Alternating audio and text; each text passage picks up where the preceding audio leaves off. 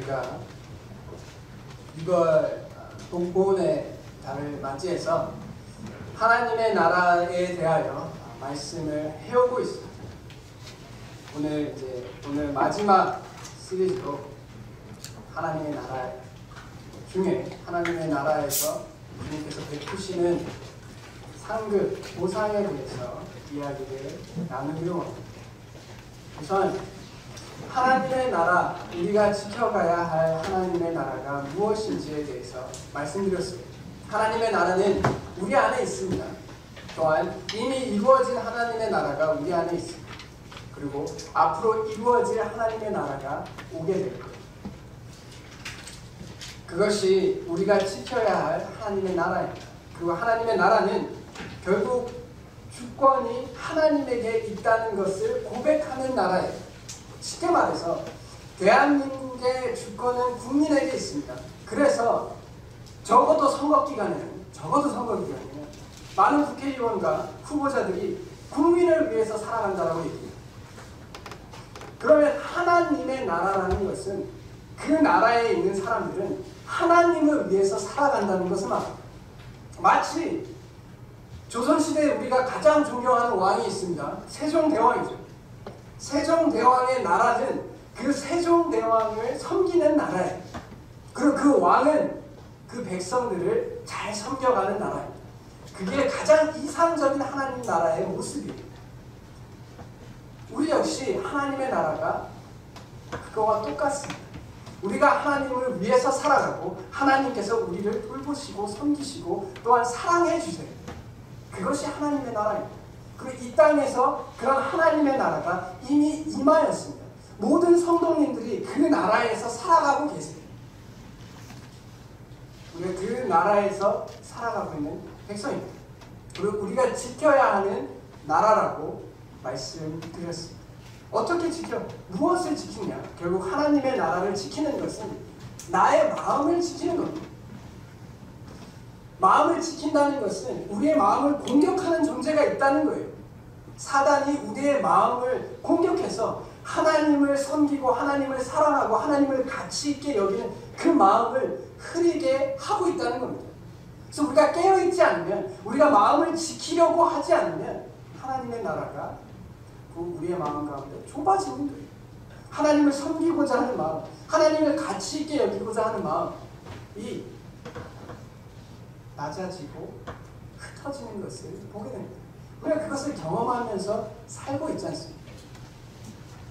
결국 우리의 마음을 하나님 앞에 깨어 있어서 그분이 나의 주인이시고 그분이 오로지 가치 있으신 분이라는 것을 묵상하면서 살아가는 하루하루의 삶과 그러기 위해서 우리를 공격하는 존재가 있다는 것을 우리가 기억해야 하고 또 우리가 연약하기 때문에 우리의 마음을 지키려고 하지 않으면 언제든지 세상의 방식이나 우리를 넘어뜨리려 하는 자들에게 의해서 넘어질 수밖에 없습니다. 우리가 이제 코로나 바이러스를 통해서 여러분들은 어떠신지 모르겠습니다. 그러나 이제 코로나 바이러스 가운데 어, 저희 교회가 한 두 달에서 한 세 달 가운데 이제 공예배를 드리지 못했어요. 제 마음을 지키기가 되게 힘들더라고요. 교회 안에서 성도님을 보고 또 우리가 물론 가정 예배를 드리고 또 말씀을 드리려고 하지만 교회로서 우리가 함께 하지 못할 때 제 마음을 지키는 게 굉장히 어렵더라고요. 게을러지고 다른 것에 자꾸 신경 쓰이게 되고 유혹되고 그, 그런 제 자신을 발견하게.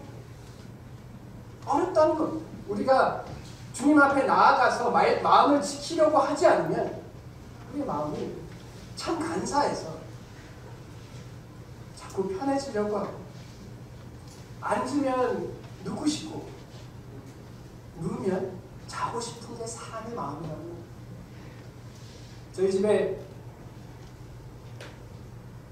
중고시장에서 2만 원 주고 산 의자가 하나 있어요. 제가 그 의자를 참 좋아합니다. 서 있다가 그 의자가 보이면 딱 가서 앉아요. 그럼 앉으면 제 자세가 되게 굉장히 거의 반 눕듯이 그 의자에 앉는 걸 발견하게 됩니다. 사람은 본질적으로 피곤하거나 힘든 것을 싫어해요. 그래서 조금 더 쉬, 쉬워지고 싶고 조금 더 편해지고 싶은 것이 사람의 마음입니다. 그걸 파고들어요.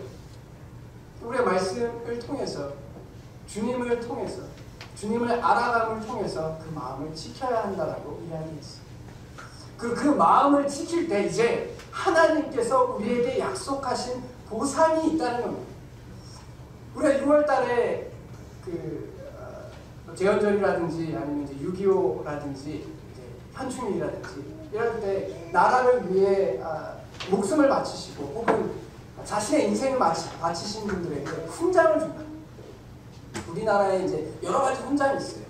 그리고 그 중에 나라를 위해서 전쟁 중이나 전시에 준하는 상황 가운데서 나라를 구하기 위해서 아, 노력하신 분들에게 무공 훈장을 줍니다. 그 무공 훈장에 5, 5등급이 있어요. 그래서 그렇게 해서 6.25 때 받지 못했던 훈장을 찾아주기도 하고 또 아, 현충일에 나라를 위해 돌아가신 분들을 위해 같이 묵념하기도 하고 수고를 합니다. 이 땅에서도 뭔가 가치 있는 것을 지켰을 때 우리는 칭찬합니다. 잘했다. 정말 수고했다. 정말 감사합니다. 라고 이야기합니다. 하나님께서도 그렇게 하세요. 하나님은 공의로운 분이십니다. 가치 있는 것을 위해서 산 사람에게 절대 빈손으로 절대 어, 뭐 그냥 그렇게 살다 가는 거지 라고 얘기하지 않습니다. 잘했다라고 이야기하십니다. 그, 그것을 통해 그것으로 인하여 너에게 상급이 있다라고 이야기합니다. 성경의 많은 부분에서 예수님도 직접 얘기합니다. 상급이 있다. 예수님께서 기뻐하고 즐거워하라. 하늘에서 너희의 상이 크다. 라고 얘기하셨어요. 상급이 있다. 라고 이야기하십니다. 근데 질문은 이겁니다. 제가 어렸, 그, 어렸을 때라기보다 제가 젊었을 때, 좀 더 젊었을 때,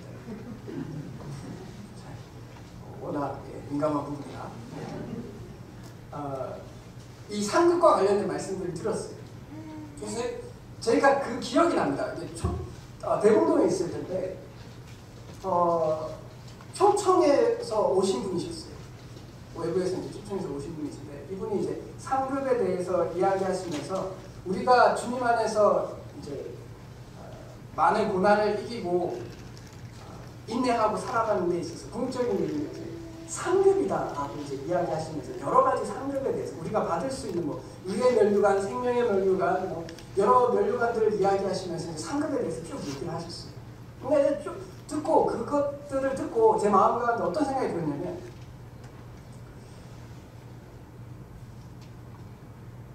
그 멸류관 이제 우리 천국에 가면 이제 천국에 가면 슬픔도 없고 미움도 없고 시기도 없고 질투도 없고 그리고 다들 마음이 평안한 상태라고 말씀하시잖아요.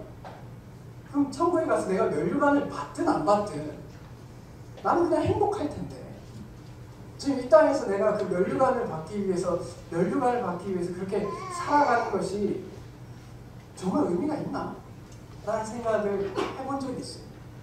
여러분들 하늘에 상급이 있다라는 말씀을 들으면 막 그 상급을 위해서 살고 싶어지세요? 어떠세요? 어, 어, 어, 뭔가 뭔가 마음에 좀 걸리죠? 뭔가 마음이 속 시원하지 않죠? 이게 굳이 내가 그 상급을 위해서 살아야 되나? 왜냐하면 이미 천국은 행복한 곳인데 그러면 면류관 아 그럼 그 면류관 굳이 있어서 굳이 뭐가 그렇게 좋을까? 그리고 이제 천국에서 이제 요한계시록을 보면 천국에 대한 비유를 보면 다 금으로 돼 있어. 다 금이고 다이아몬드고 거기에 흙이 없어. 다 금이고 다 다이아몬드. 그럼 이게 뭘 그렇게 우리한테 의미가 있을까요? 있을까요? 우리가 받는 보석이 우리에게 어떤 의미가? 제 나름의 고민이 막 되는 거예요. 하나님께서 이런 상급을 약속하셨는데 이 상급이 정말 우리가 생각하는 것처럼 멸류관, 뭐 보석, 뭐 이런 것일까? 그런 물리적인 것일까? 그리고 뭐 맨션, 큰, 큰 집. 뭐 예, 하나님이 부동산 증기인도 아니시고, 천국에서 집이 정말 살기 좋은 집을 만들어 놓고, 그 주님을 위해서 산 사람에게 정말 큰 집 주신다라는 게 정말 우리에게 의미가 있겠냐는 거예요. 이 땅에서야 뭐 의미가 있을 수도 있겠죠. 우리가 그 육신 가운데 사니까. 근데 천국에 가서 그게 정말 의미가 있을까요? 저는 개인적으로 별로 그게 안 땡겨요. 근데 성경에서 보면 이 상이 상으로 인해서 기뻐하라고 하고 사도 바울도 내가 그 부름의 상을 위해서 달려간다라고 얘기합니다. 끝까지 내가 믿음의 상을 위해서 달려가고 이 모든 고난을 이겨내겠다고 얘기해요. 그러면 적어도 사도 바울에게는 이 상이 엄청난 가치를 가진 거예요. 그렇죠? 그래서 저도 그러고 싶은데 어떤 물리적인 이런 뭐 금이고 뭐 이런 거면 아무리 생각해도 별로 안 땡기는 거예요.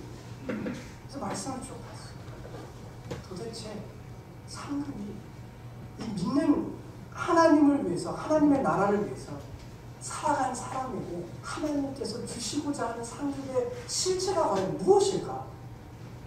말씀을 쭉 찾아봤어요. 일단 첫 번째 말씀. 창세기 15장 1절에 아브라함에게 여호와께서 약속하신 것이 이렇게 말씀하십니다. 아브라함아 두려워하지 마라. 나는 내 방패요 너의 지극히 큰 상급이다 라고 이야기합니다.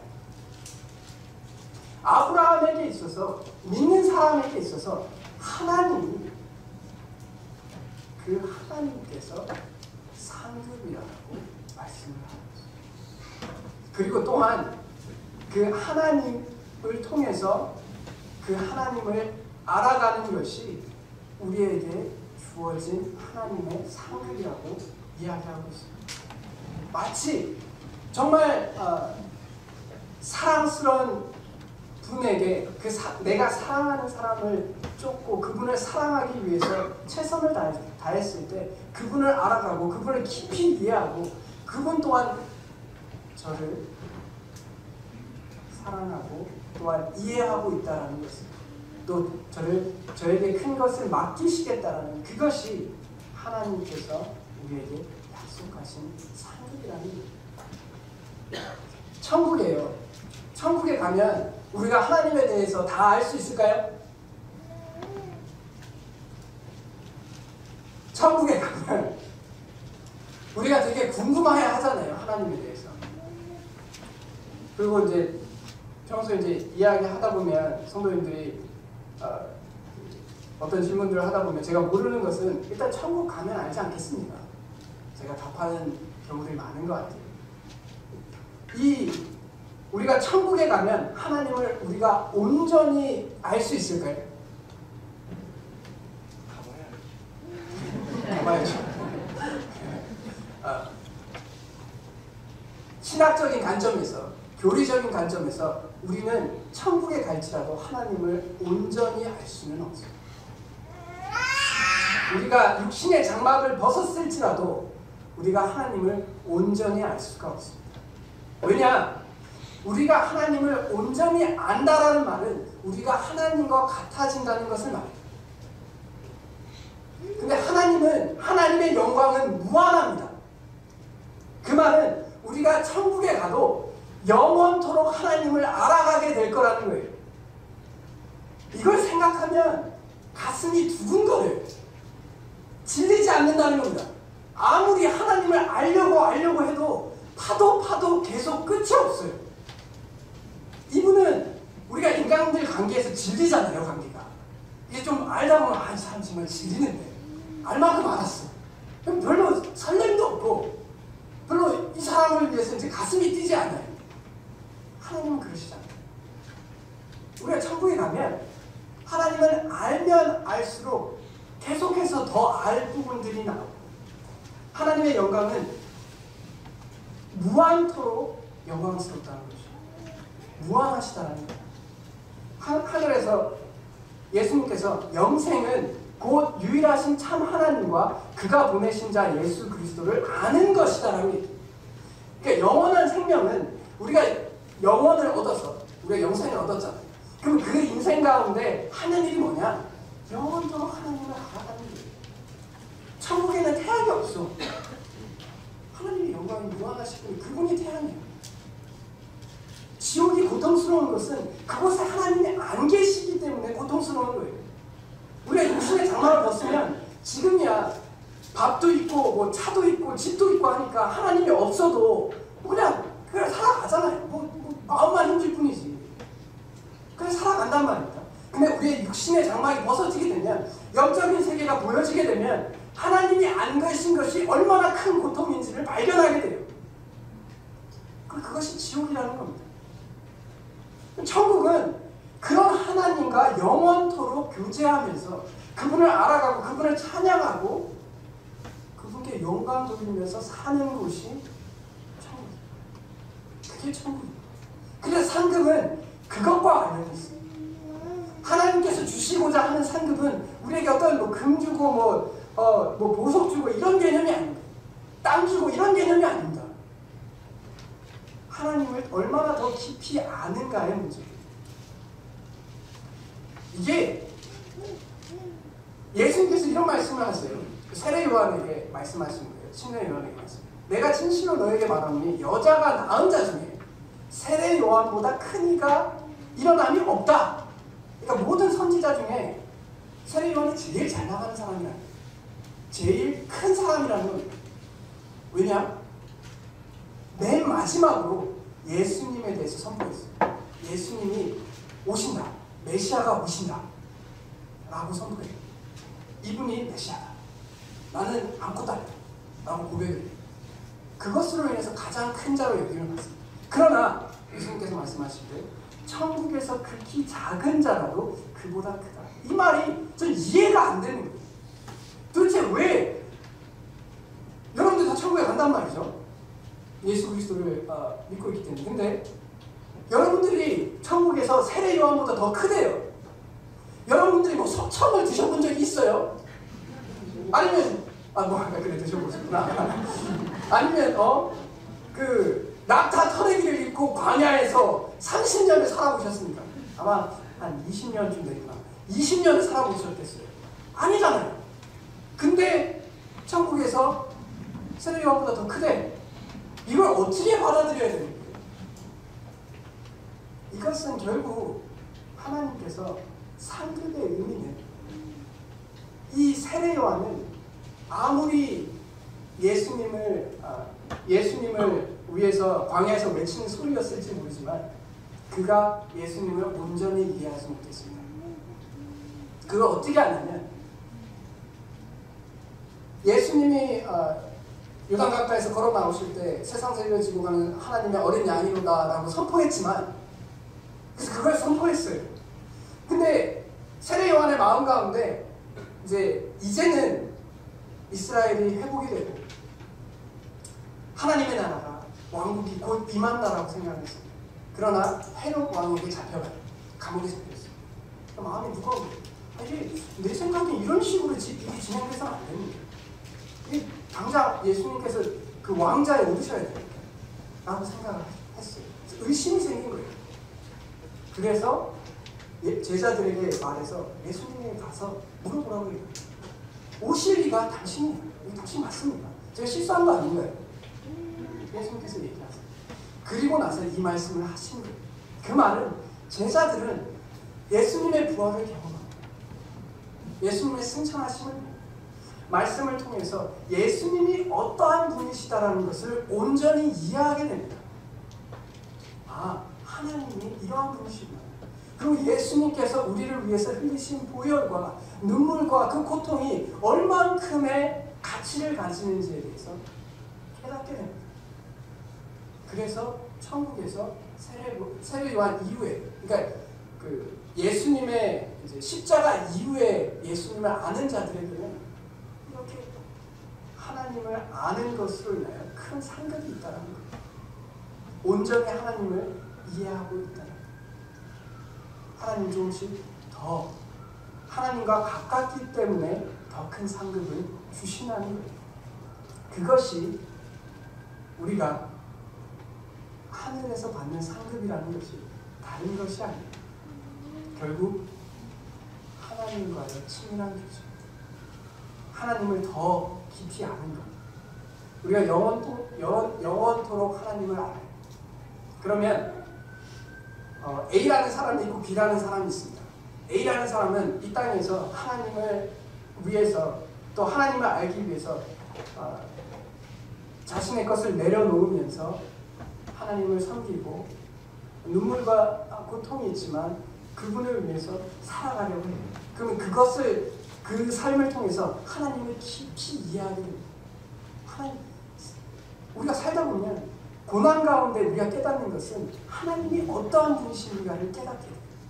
우리가 포기하지 않고 그, 그 고난을 이겨내갈 때 하나님이 어떠한 분이신지를 발견하게 됩니다. 그만큼을 알게 됩니다.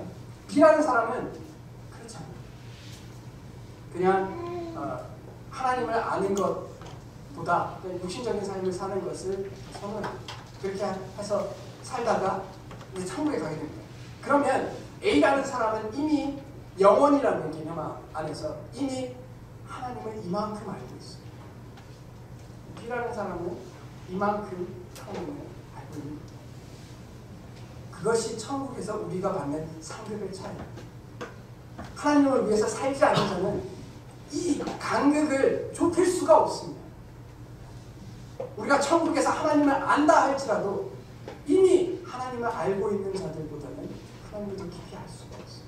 그리고 이것으로 인하여 뭐 자괴감이나 어, 후회나 이런 개념이 있는 것이 아니라 이미 하나님을 알고 있는 자에게는 말할 수 없는 기쁨과 평안이 그 가운데 있고 또 그렇지 못한 자는 그런 자를 그냥 존경할 뿐입니다. 아, 그것이 참 잘했구나. 그것이 우리가 천국에서 누릴 수 있는 상급의 모습.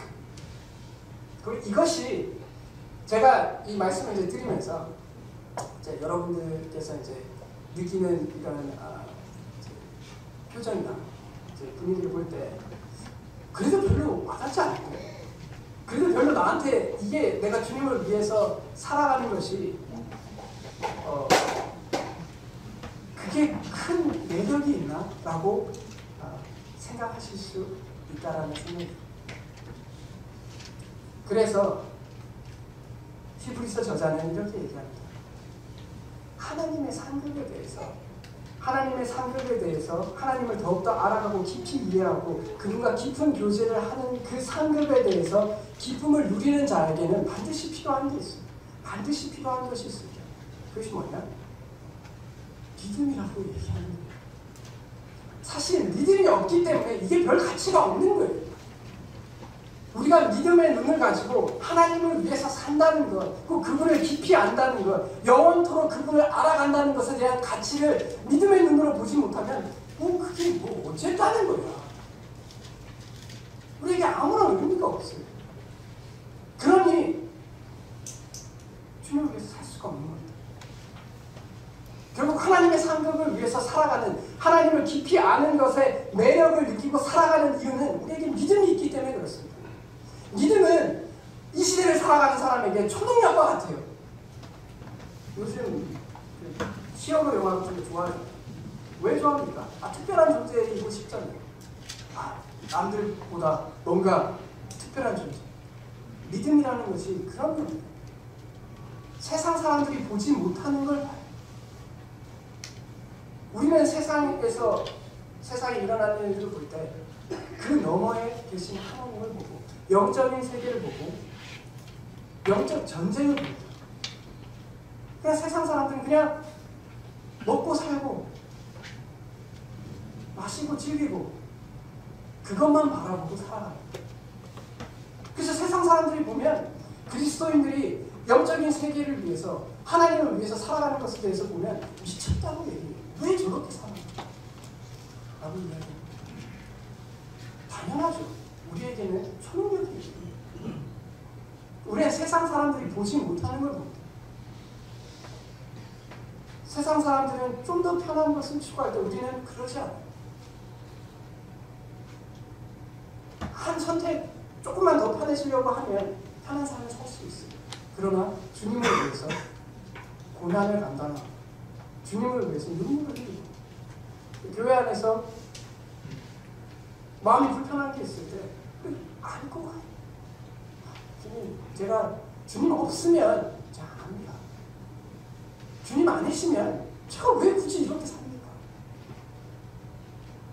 우리가 하나님을 믿기 때문에 하나님께서 주시겠다라고 약속하신 그 상급, 하나님을 더 깊이 알아가는 그 상급이 가치가 있는 거죠.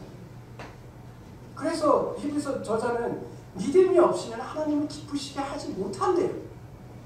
우리가 아무리 주님 앞에 뭐 이랬고 저랬고 뭐 섬기고 할지라도 하나님이 계시고 그분이 자기를 찾는 자들에게 상 주시는지를 믿어야지만 우리가 하나님을 기뻐하는 삶을 살 수 있다라고 얘기합니다.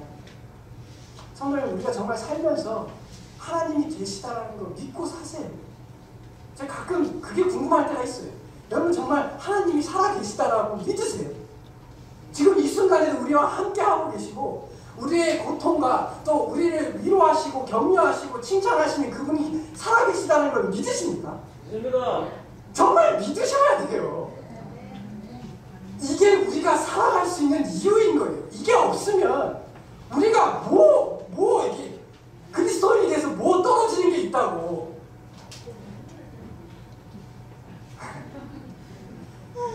그러게요. 그리스도인이 하나님이 살아계시고 그분께서 우리를 위로하시고 그분께서 우리에게 상 주신다라는 것을 믿는 거 말고 우리가 어떻게 믿음을 지켜가요? 우리가 어떻게 하나님을 위해서 살아갑니까? 우리가 진짜 하나님을 위해서 살아가다 보면 얼마나 많은 힘듦이 있는데요.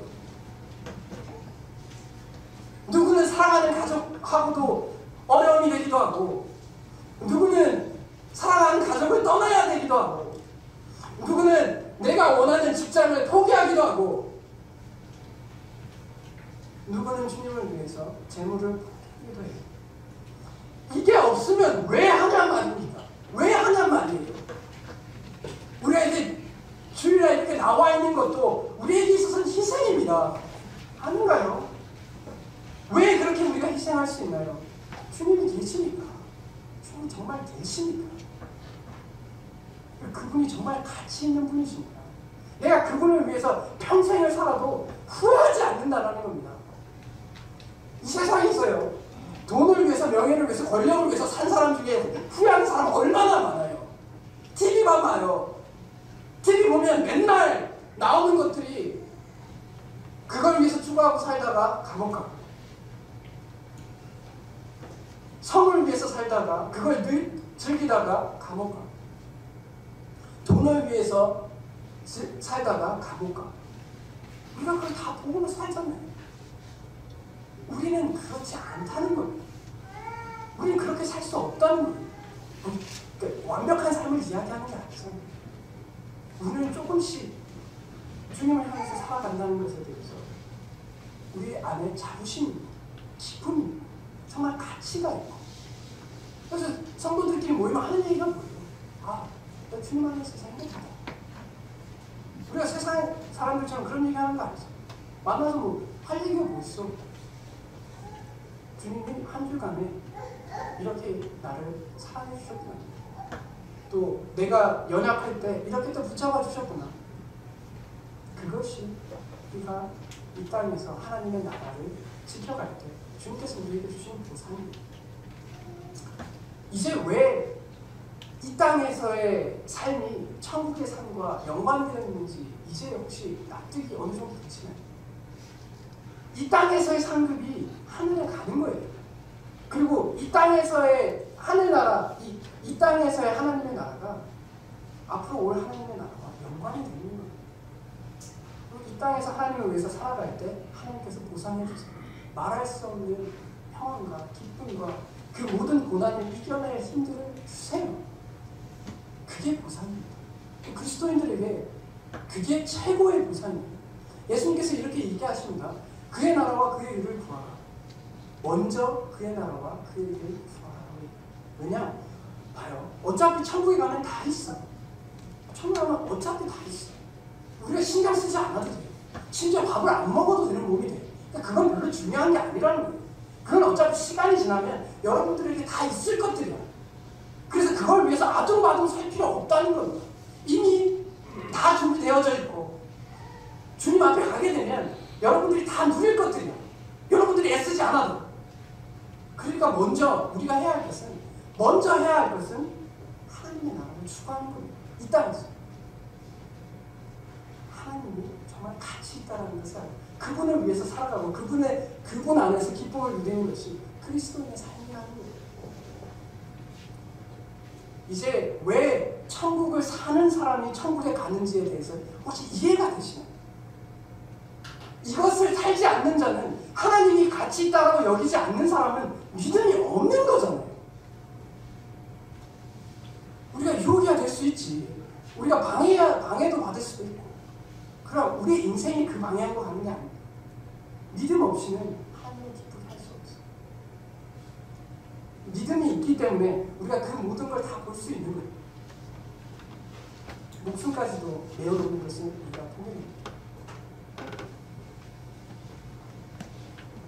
히브리서 11장 어, 믿음장이라고 얘기해요. 믿음에 쭉 얘기합니다. 그러면서 모세가 어떻게 믿음의 삶을 살았는지에 대해서 이야기합니다. 11절, 11장 24절에 믿음으로 모세는 장성하여 바로의 공주의 아들과 칭함받기를 거절했어요. 하나님의 가치를 봤거든요. 그분의 가치를 봤어요. 바로의 공주의 아들이 뭐 우리가 지금 얘기하는 게 그게 뭔가 뭐, 뭐, 그렇게 뭐 중요한가라고 생각하지만 바로 공주의 아들은 최상의 권력자의 자식이에요. 그러니까 정말 상위 0.00001%에 들어가는 존재인 겁니다. 그걸 포기한 거예요. 물론 모세가 포기할 때 하나님의 방식이 아니라 모세 자신의 방식으로 해서 40년 동안의 광야 생활을 했지만 그는 분명히 보았어요. 세상과는 다른 하나님의 가치를 봤어요. 그래서 하나님의 그 권력을 버렸어요. 명예를 버렸어요. 또 하나님의 백성과 함께 고난받기를 잠시 죄악의 낙을 누리는 것보다 더 좋아했어요. 우리가 쾌락 있잖아요. 이게 정말 마약 같은 겁니다. 우리가 어떤 이제 매, 그 어떤 쾌락을 쫓다 보면 처음에는 이게 이만큼의 쾌락만 있어도 만족을 해요. 아, 좋다. 시간이 지나면 일로는 안 돼. 좀더 자극적인 거. 또 시간이 지나서 좀더 자극적인 계속 자극적인 게 이게 변태 성욕자라는 개념이 그들은 일반적인 그런 어, 쾌락으로는 만족을 못할 정도까지 가게 되는 거예요. 그리고 이제 마약에 손대게 돼요. 점점 더 깊은 쾌락에 빠지다가 그 쾌락이 그 쾌락마저도 허무할 때 마지막으로 인생을 자살하는 거예요. 그것이 죄악의 날이라는 거예요. 이 죄악의 날 누리는 것보다 주님과 함께 고난받는 것이 더 낫다라는 거죠. 정말 쾌락을 쫓고 살아간 사람 중에 끝이 좋은 사람이 없습니다. 정말 그래요. 여러분들 우리가 정말 조심해야 돼요. 우리가 세상이 주는 만족을 쫓아, 쫓고 살아가다가 끝이 좋은 사람이 없습니다. 좀 고난을 받을지라도 주님께서 다 이끌어 주시잖아요. 위로해 주시고 우리가 잘나서 고난 이기는 거 아니잖아요. 주님께서 도와주세요. 믿음이 있기 때문에 그것이 더 좋은 것을 발견하는 그리고 그리스도를 위하여 받는 수모를 애굽의 모든 보화보다 더 큰 재물로 이것은 주님께서 주신 주님과의 깊은 교제를 바라보았기 때문에 그 상급을 이해했기 때문에 그렇습니다. 우리도 그것을 좀 바라볼 수 있기를 바랍니다. 그래서 우리의 믿음이 그냥 아니, 나를 위한 믿음이 아니었으면 좋겠어요. 내가 만족하고 내가 어, 나에게 유익만을 주는 것만 옳다라고 얘기하는 믿음이 아니었으면 좋겠어요.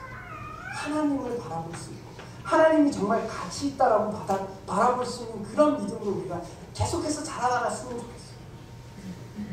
그것이 그렇게 될 때 그 믿음 자체가 그 하나님과의 교제 자체가 자체가 우리에게 상급이 됩니다. 그것이 우리의 그 그것이 우리가 영원토록 하나님의 나라에서 누릴 상급 그 상급을 바라보고 살았으면 좋겠습니다. 마지막으로 우리가 모두 그리스도의 군사입니다. 병사로 목마른 자는 자기 생활에 얽매이는 자가 하나도 없나니 이는 병사로 모집한 자를 기쁘게 하려 합니다. 이 말을 다르게 얘기하면 군사는 자신을 모집한 자를 기쁘게 하는 게 그의 보상이라는 겁니다. 그리스도의 아, 군사들의 보상은 하나님이 기뻐하는 것이 나에게 기쁨입니다. 하나님이 즐거워하는 것이 나에게 보상이라는 겁니다. 하나님 나라의 보상은 하나님을 기쁘게 하는 것이 우리의 보상입니다. 그것이 시간, 그것이 하나님 중심으로 살아간다는 것을 의미합니다. 제가 최근에 이런 이런 인생을 좀 더 값지게 살 수는 없을까? 내가 제가 게을러지고 제가 연약한 부분이 있고 어, 제가 하나님의 영광을 보지 못하는 부분들이 있을 때 이것을 좀 붙잡아 줄 수 있는 게 없을까? 나에게 동기부여를 해줄 수 있는 장치가 없을까? 고민하다가 제가 이걸 발견했어요. 앱인데요. 제가 2000년 60년 2060년 9월 18일에 죽는다고 가정할게요. 제게 남은 날이 14,699일밖에 안 남았어요. 제가 이 땅에서 주님을 위해서 살 수 있는 날이 14,699일밖에 안 남았습니다. 제가 이걸 핸드폰에 띄워놨어요. 하루하루가 지날 때마다 그 날이 하루하루 깎입니다. 제가 주님을 위해서 살 수 있는 날이 하루하루 깎여요. 여러분들에게 주어진 시간들이 무한하지 않습니다. 우리가 이 땅에서의 삶이 무한하지 않아요. 그럼 언제 갈지 모릅니다. 오는 거에 순서가 있지만 갈 때 순서 없어요. 그 말은 제가 2060년에 죽는다고 가정을 할지라도 그보다 훨씬 죽, 빨리 죽을 수도 있어요. 그러면 저에게 주님을 더 깊이 알 수 있고 더 깊이 알 수 있는 기회가 이제 얼마 안 남았다는 얘기입니다. 그걸 기억하세요. 정말 기억하셔야 합니다. 여러분들 우리에게 주어진 시간들이 그렇게 넉넉하지 않습니다. 그러면 그 주어진 시간 동안에 하루하루 긴장하면서 어떻게 하면 주님을 위해서 더 살아갈까? 네. 생각하면 살아가는 것 자체가 우리에게 보상이에요. 그게 그게 참, 참 인생입니다. 그게 하나님께서 창조하신 인간의 본분입니다. 인간답게 사는 겁니다. 그러니까 그렇게 살 수 있기 바랍니다. 도움이 필요하면 서로 돕고 뭐 다른 뭐 동기부여할 것들이 있으면 그렇게 동기부여 받아서 주님을 위해서 살아갈 수 있는 저희들이 됐으면 좋겠습니다. 그래서 이 6월 한 달 동안은 하나님의 나라를 생각하고 하나님의 나라를 위해서 살고 그분 안에서 어떤 보상 가운데 살 수 있는지에 대해서 고민할 수 있었으면 좋겠어요. 그래서 우리가 좀 시시하게 살지 않았으면 좋겠습니다. 정말 주님을 위해서 아무리 시시한 것도 주님을 위해서 살면 시시한 인생이 아니잖아. 영혼의 가치를 가진 거죠. 정말 세상 사람들에게 내 스스로 담대함을 가졌으면 좋겠어요. 그 남들을 권면할 때 이게 옳은 거니까 내 마음에 담대함이 있었으면 좋겠어요. 그래서 하나님의 나라에 사는 자처럼 하나님 나라의 백성인 것처럼 살아가는 저희들이 되기를 간절히 바랍니다. 같이 기도하겠습니다.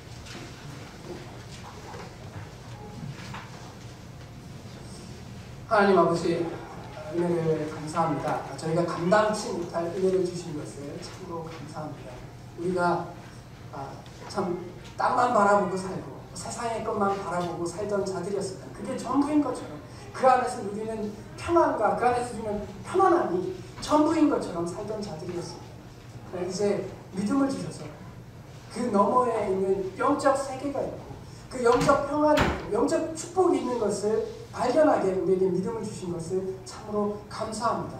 그 믿음을 볼 때에 그 믿음을 통해서 이 땅에서의 삶을 살아갈 수 있도록 도와주시기 원합니다.